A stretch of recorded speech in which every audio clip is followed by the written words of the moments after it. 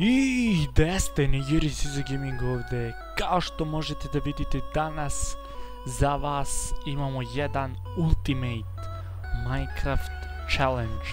Znači kao što možete vidjeti u pitanju je jedan veoma veliki lavirint. Ali ovaj lavirint se malo razlikuje od onog ciletovog ukoliko ste ga igrali. Znači ovog puta nema nikakve pomoći, to jest onim tablama sa zadacima koji vas usmjeravaju gdje treba da idete, ali samim tim sam vam malo olakšao i nisam stavio nikakva čudovišta, niti bilo šta što vam može nauditi. Znači, kao što možete vidjeti, e, lavirint je poprilično velik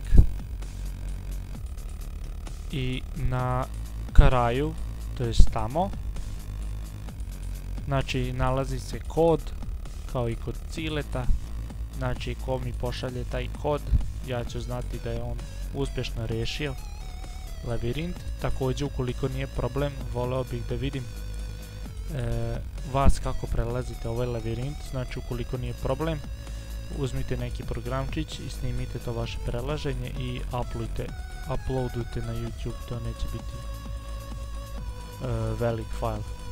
Znači sada ćemo vidjeti kako to izgleda iznutra. I znači kada skinete ovu mapu i ubacite u vaš save folder u tamo da ste instalirali Minecraft, znači to će izgledati otprilike ovako. Ovdje imate jedan krevet i ovamo kreće vaša avantura. I to bi bilo to, nadam se da ste uživali.